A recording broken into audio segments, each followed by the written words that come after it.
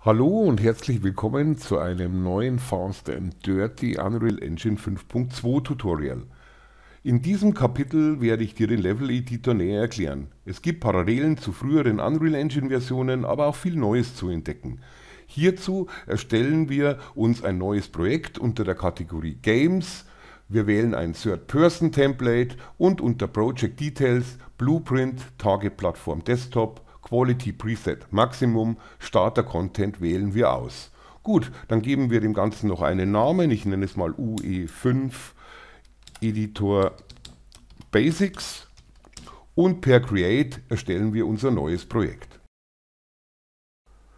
Wir befinden uns jetzt in einem voll funktionsfähigen Third-Person-Template und das können wir gleich mal ausprobieren, indem wir hier oben auf die grüne Play-Taste drücken und noch sehen wir unseren Mauszeiger, das bedeutet, hier steht schon Klick Maus for Control, das heißt, wir klicken die linke Maustaste und können jetzt per W, S, A und D unseren Charakter bewegen und dementsprechend über die Space-Taste zum Sprung ansetzen und mit der Maus selber, wenn wir die hin und her fahren, können wir uns umsehen. So, das ist die eine Geschichte. Hier sind bloß ein paar kleine Gimmicks mit drin, dass man da noch was rumschieben kann. Aber ansonsten wäre das jetzt schon mal die komplette Steuerung von einem Character, um die wir uns eigentlich gar nicht mehr kümmern müssten. So, wie vorher schon angekündigt, oben links auf unser Screen, wenn wir jetzt die Tasten Shift und F1 drücken, bekommen wir unseren Mauszeiger zurück, sodass wir wieder hier interagieren können. Wir befinden uns aber noch im Pi, im Play-in-Editor-Modus und hier können wir das Ganze stoppen, pausen und dementsprechend über Escape geht das genauso, da können wir wieder raus. So, das war jetzt mal die Geschichte, dass wir es gleich starten können. Und gegenüber früheren Unreal Engine Versionen, also vor der 5er, fällt jetzt auf, dass der Content Drawer hier unten nicht mehr fix verankert ist. Diesen bekommt man jetzt hier über den Tab Content Drawer, da kann man ihn öffnen und durch wiederholtes Klicken auch wieder einfahren. Das gleiche geht über den Shortcut Steuerung und Space zum Öffnen und Steuerung Space zum Schließen. So, dann drücken wir nochmal wiederholt Steuerung Space und wenn wir ihn jetzt fest in unserem Viewport integriert haben möchten, dann bietet sich hier der Button Dock in Layout an. So, und jetzt kommen wir gleich mal zu den ganzen Window-Funktionen. Man kann hier wahnsinnig viel machen. Auch die Mittelmaus hier auf den Tab würde das Ganze wieder schließen. Dann kann man es mit Steuerung und Space wieder öffnen, auch wieder mit wiederholtem Klick auf den Tab. Man kann jetzt definitiv auch noch das Ganze hier mit, link, äh, mit rechter Maustaste, Dock to Sidebar, dann haben wir es jetzt hier drüben. Und dementsprechend kann man die ganzen Geschichten hier verschieben, definitiv überall eindocken und so weiter, wie man das dann gerne hat, wenn man verschiedene äh, Active Panels offen hat und nicht so viele Monitore zur Verfügung und wenn man dann in diesem Dschungel hier gar nicht mehr weiß, wie man das zurückstellen soll, dann geht man hier einfach auf Window und hier unten auf Load Layout und dann Default Editor Layout und dann, keine Panik, ist man wieder da, wo man war und hat die Probleme des Zurückstellens nicht mehr.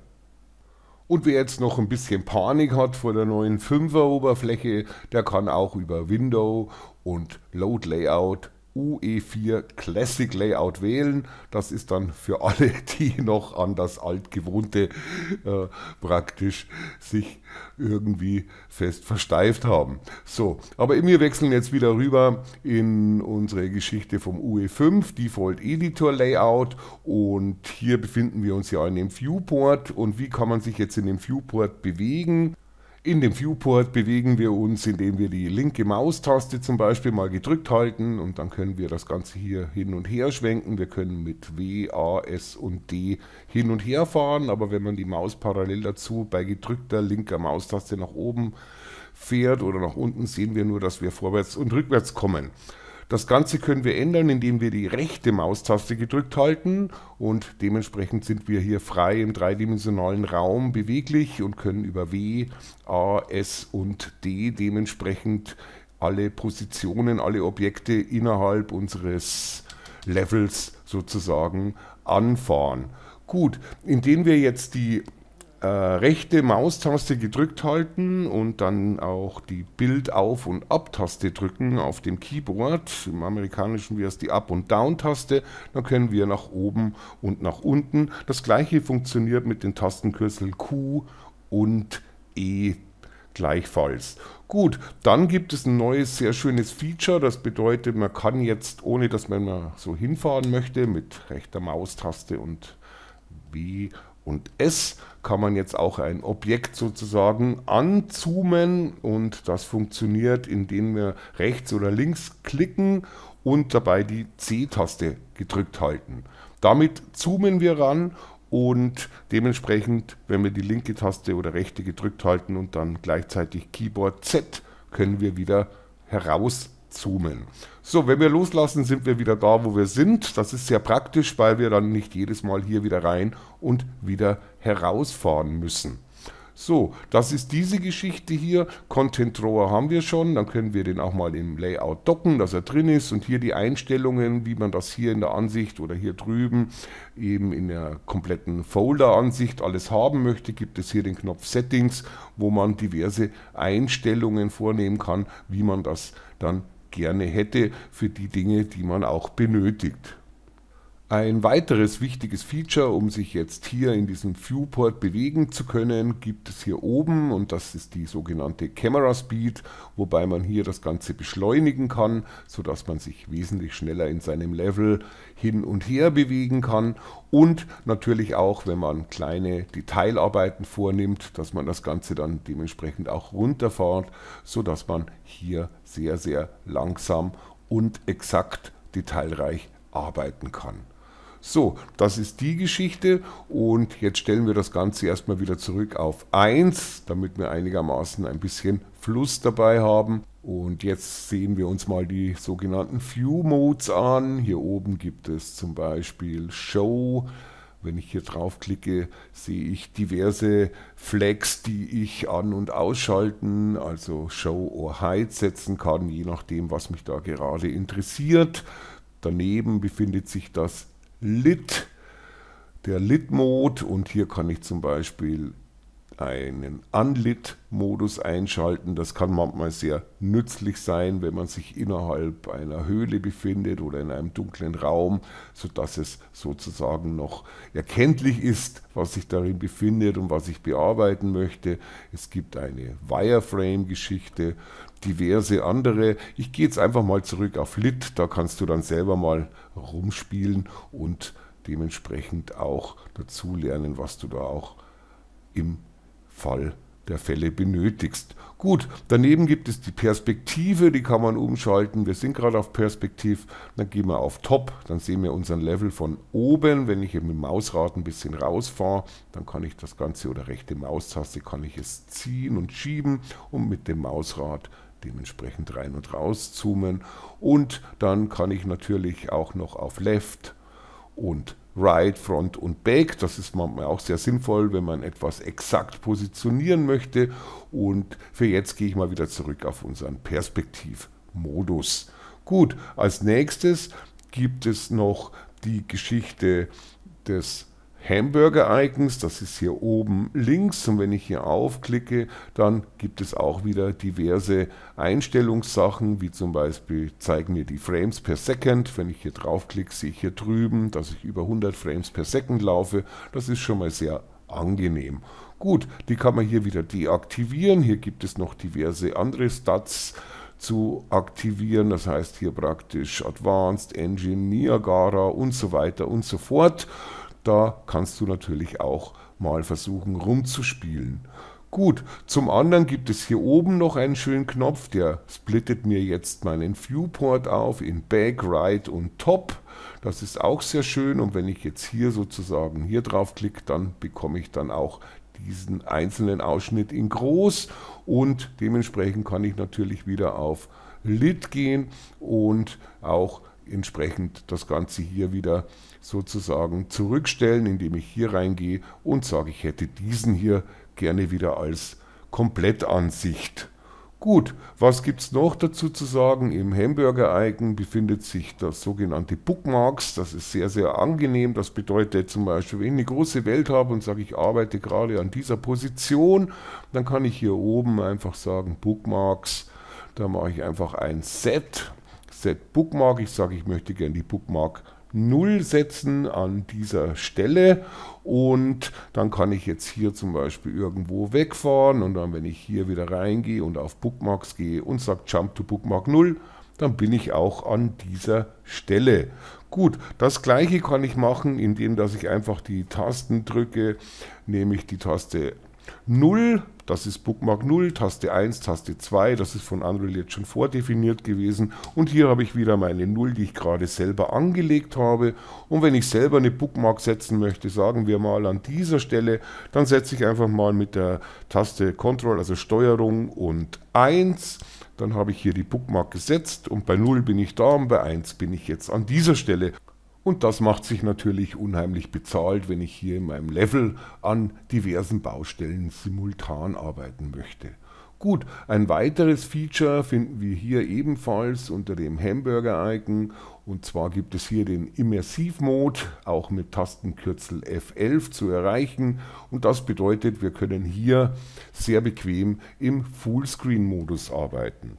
Wiederholt die Taste F11 drücken und dann kommen wir zurück in die normale Standard-Editor-Ansicht.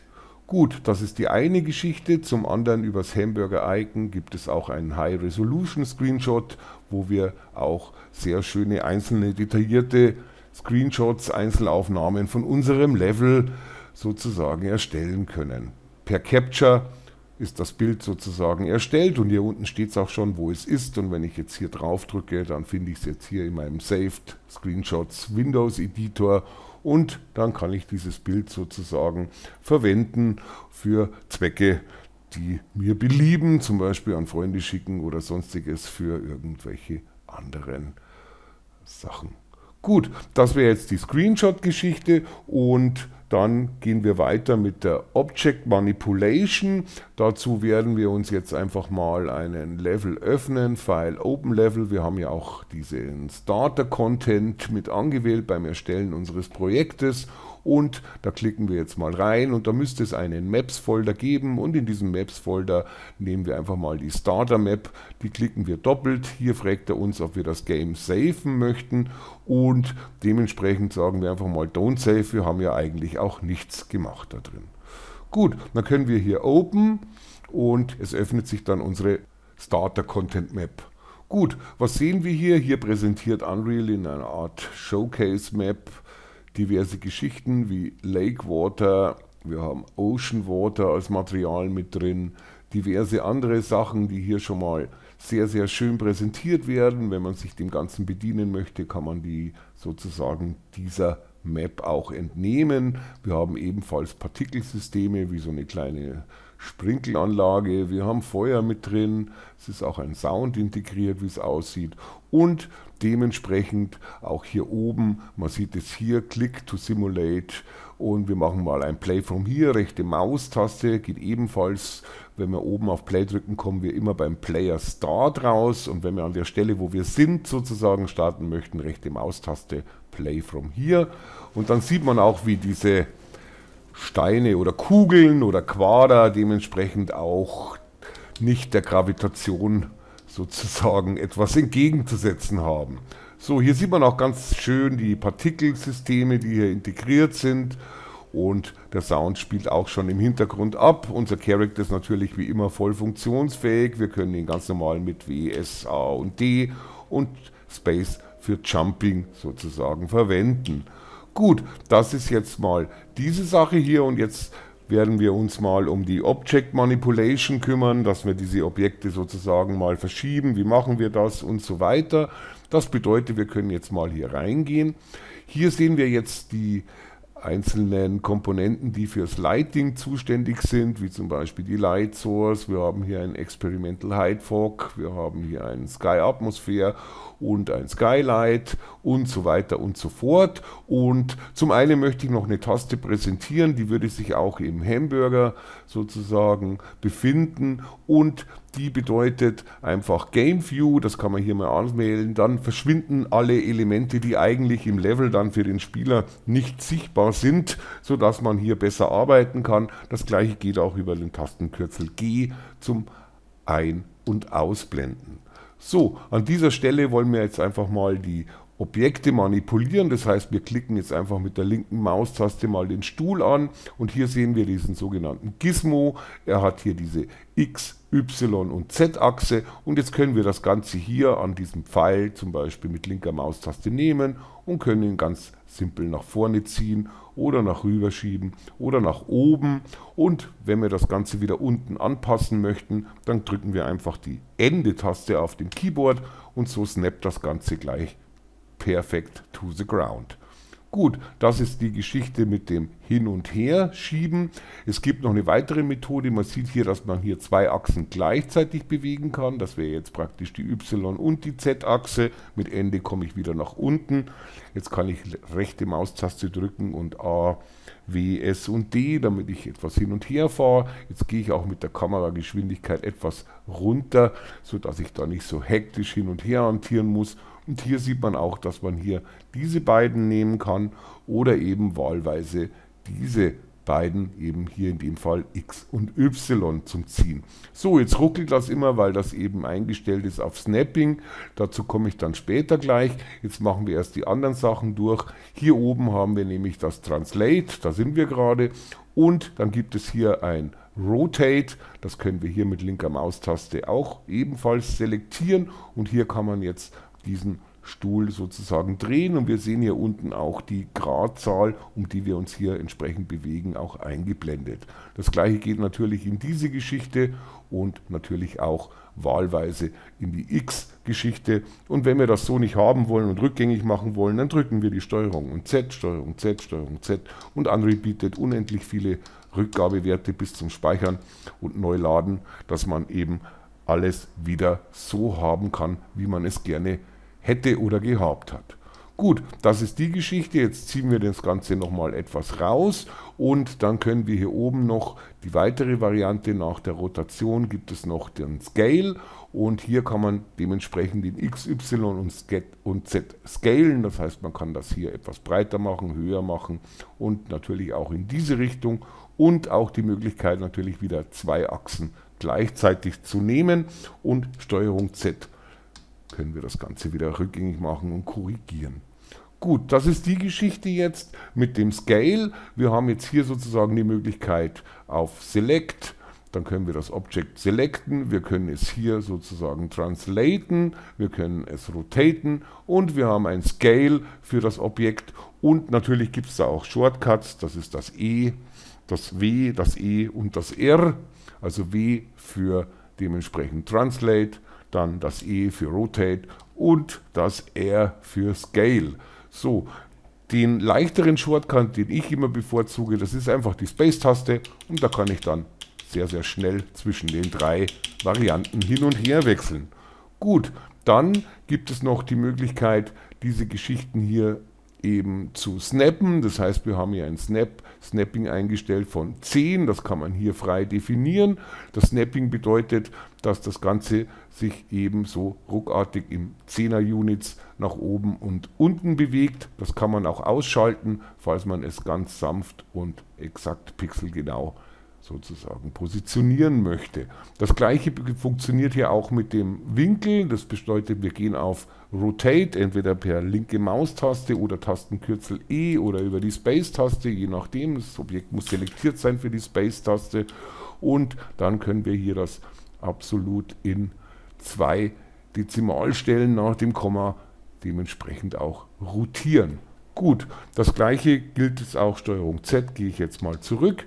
Das gleiche gilt jetzt auch für die sogenannte Snapping-Geschichte beim Scale. Der Scale ist momentan auf Snapping eingestellt für 0,25. Man sieht auch, es ruckelt ein wenig und wenn ich das jetzt hier deaktiviere, dann kann ich hier das ganz smooth so skalieren, wie ich das wirklich gerne für meine Zwecke verwenden möchte.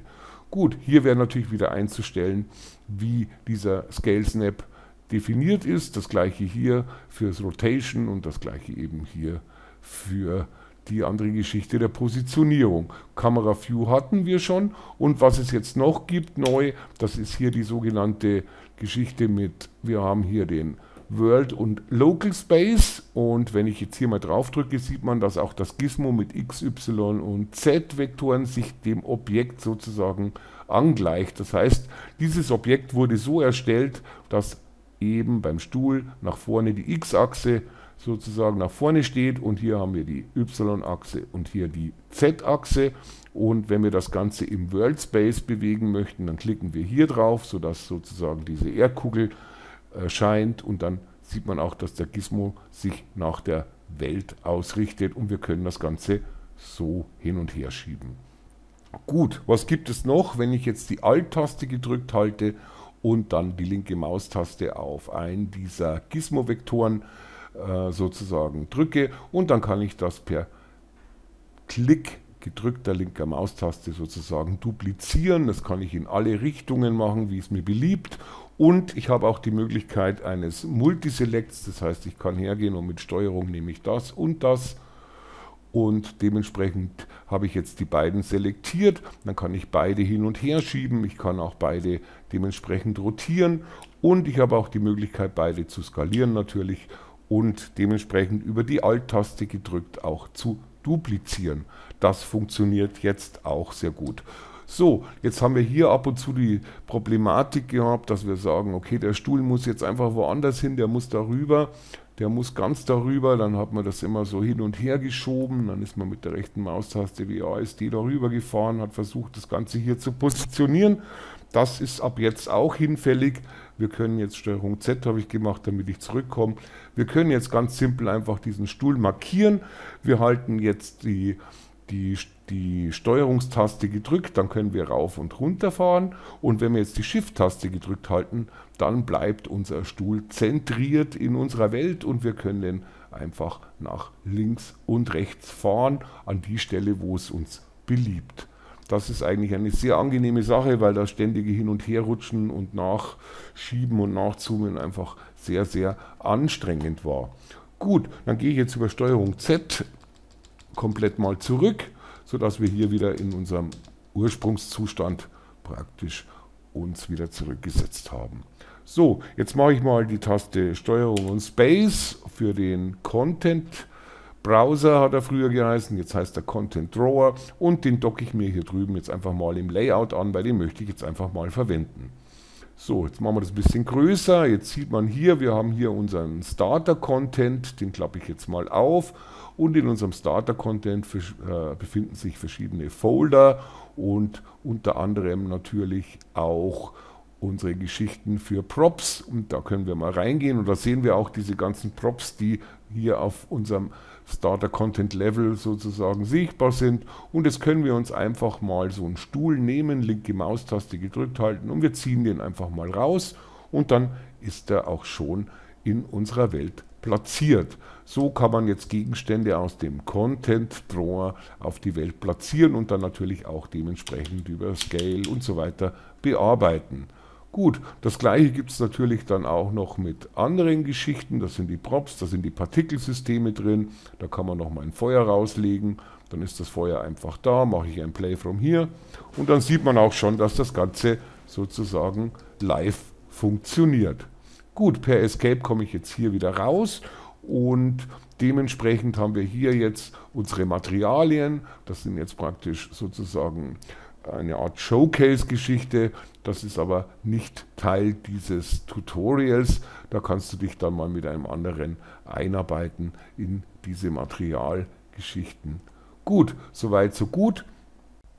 Und als nächstes wollen wir uns mal den Outliner hier oben rechts anschauen. Das heißt, wir werden hier die Geschichte ein wenig nach unten ziehen. Das Detail Panel fahren wir nach unten, sodass der Outliner ein bisschen übersichtlicher wird. Und im Outliner befinden sich sämtliche Objekte und Elemente, die in unserem Level und in unserer Welt sozusagen platziert sind. Und wenn wir jetzt hier einfach mal doppelklicken, zum Beispiel auf das Partikelsystem Smoke Blueprint, dann sehen wir auch, dass es hier gehighlightet ist und man sieht auch den Radius seines Influence, seines Einflusses und so weiter und so fort. Hier ist das Postprocess, das ist hier unten versteckt, die Skysphere ist hier und so weiter und so fort. Wir können auch auf den Floor gehen, dann ist dieser Floor auch schon vorselektiert und das gleiche bekommen wir auch, indem wir jetzt einfach mal sagen, wir gehen jetzt mal hier drauf per linker Maustaste und dann drücke ich die Taste F und dann kommt dieses Objekt automatisch zentriert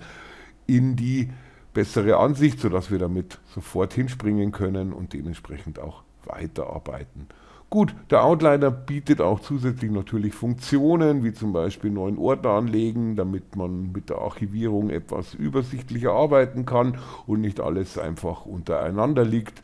Und dementsprechend kann man hier auch einzelne Elemente kopieren. Man kann die rechte Maustaste machen. Hier haben wir jetzt erstmal Move To.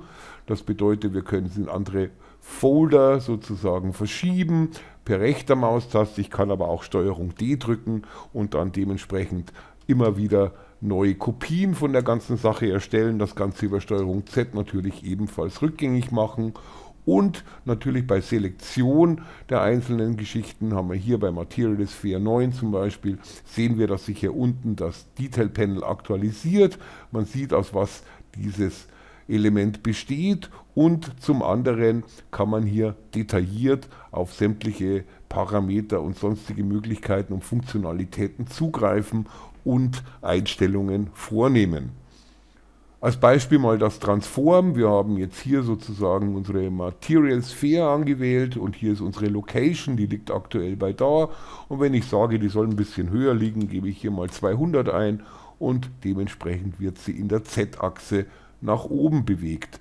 Ebenfalls kann ich hier den Scale ändern, in dem Fall jetzt mache ich nur die X-Richtung, das heißt Steuerung Z gehe ich zurück. Und wenn ich komplett alle machen mag, dann gehe ich einfach hier, mache dieses Vorhängeschloss zu und dementsprechend wird sich die XYZ-Achse gleichmäßig verändern. Ein weiteres Feature hier drin ist die rechte Maustaste, zum Beispiel bei der, bei der Scale-Geschichte wenden wir mal an, rechte Maustaste Copy und jetzt gehe ich auf dieses Element und dann sage ich hier wieder rechte Maustaste Paste und dann habe ich sozusagen diesen Scale auf das andere Objekt übertragen, in dem Sinne kopiert.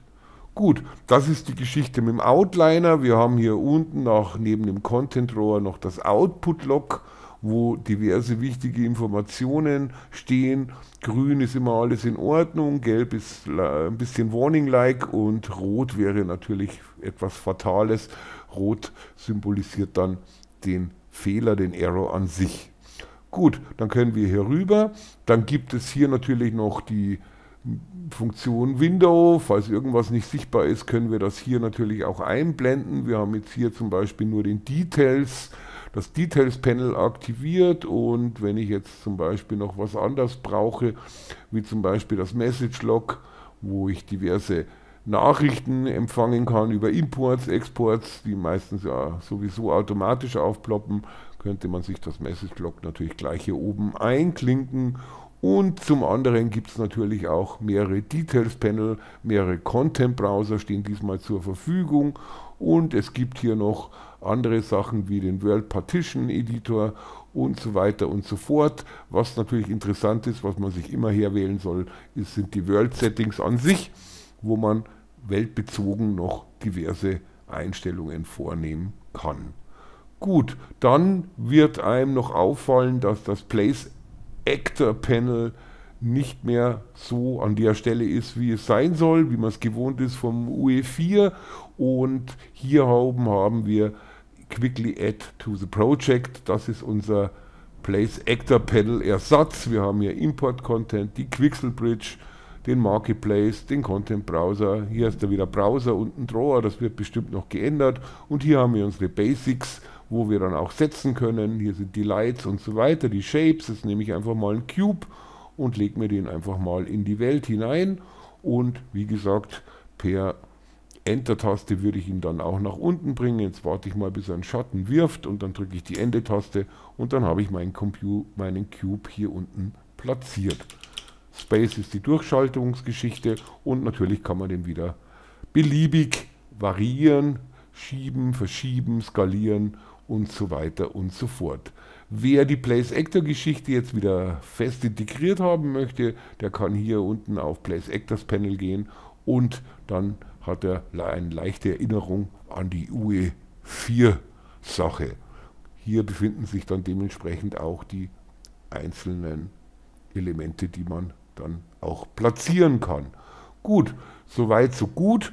Ich denke, das war es jetzt mal mit den Basics zur Unreal Engine 5.2 und ich hoffe, es war etwas informativ für dich und hat auch Spaß gemacht. Also tschüss, bis zum nächsten Mal.